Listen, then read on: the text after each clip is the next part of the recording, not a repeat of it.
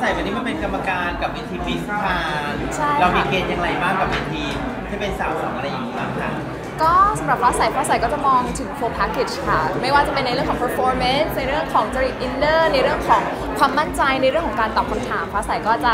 อ่าตัดสินอย่างเป็นอ่า fair ที่สุดค่ะ จริง ๆ ก่อนหน้านี้มิสทานก็เริ่มมีกระแสจากหลายๆคนได้ติดตามน้องๆบางคนแล้วได้ติดตามบ้างค่ะจ ริงๆเราได้เห็นความหลากหลายของเวทีนี้ไหมคะใช่เห็นถึงความหลากหลาย แล้วก็มีน้องคนหนึ่งที่อืมเรียกว่า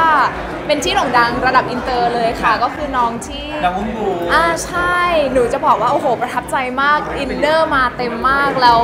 เขาเป็นคนบอกจริงๆเลยค่ะ ว่าไม่มีอุปสรรคไม่ว่าจะเป็น disability ก็ตามค่ะ แต่จริงๆในฐานะที่เรามาเป็นกรรมการคนหนึ่งในวันนี้เนี่ย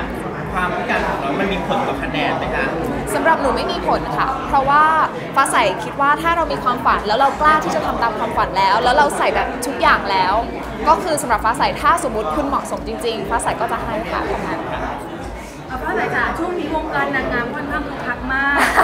เราได้ติดตามบ้างไหมคะก็มีติดตามบ้างค่ะ ตามที่แบบว่า FC กับเพื่อนส่งมาค่ะเราได้เห็น พัฒนาการของน้องๆปีนี้เรามีในใจหรือยังคะแบบเดี๋ยวเวทีไหนคะ อันนี้มีหลายเวทีมากเลย เอาเวทีไหนก่อน MUT อะ MUT โอเค จะได้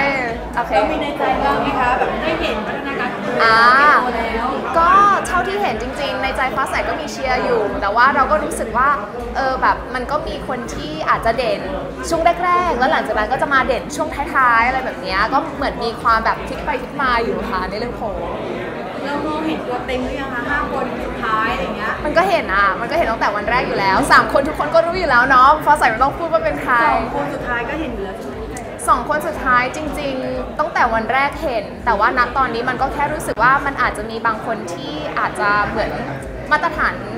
อาจจะคงที่แต่คนอื่นอะเขาเร่งอินเจนมันก็เลยทำให้ดูเหมือนดรอปลงอะค่ะนิแปลดว่านึงที่แต่ว่า มาตั้งแต่ตอนแรก ใช่ ก็ยังอยู่ในใจเหมือนเดิม แต่แค่ว่ท็อปใครจะสามเป็นท็อปสามยังเหมือนเดิม ใครแต่จะเป็นว่าหนึ่งสองสามก็สลับกันตามใช่ท็อปสามยังเหมือนเดิม แต่ใครที่จะแบบ1 2 3เนี่ยมันก็มีการสลับกันไปมาคิดว่าจริง ๆ ตัวเราเนี่ยมองยากไปว่าคนที่จะมงปีนี้เนี่ยเพราะ ว่าในท็อปสามที่เราคิดไปก็น่าจะเหมือนกันกับแม่แม่ๆนางงามทุกนไม่คือต้องบอกก่อนว่าโพลสำหรับฟ้าใสอะที่ฟ้าใสคิดว่าอยากจะให้คนนี้ไปต่อค่ะกับโพลสำหรับอะคนที่เป็นกองที่เลือกอะมันอาจจะไม่เหมือนกันอันเนี้ยเดี๋ยวฟ้าใสต้องบอกก่อน เพราะว่าในใจของฟ้าใสฟ้าใสก็มีแบบเอ้ยคนเนี้ยน่าสนใจเอิ่ม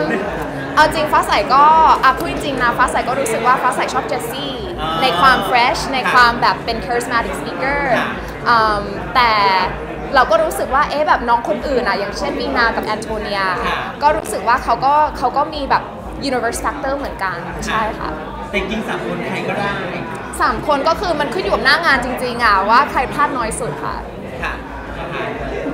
ว่าปีนี้เราจะมีการแบบว่าใกล้ประกวดเราจะมีการออกมาเผยโพลของเราไหมคะ อ๋อ ก็อาจจะรอพรีลิมค่ะ แล้วก็เผยทีเดียวค่ะอ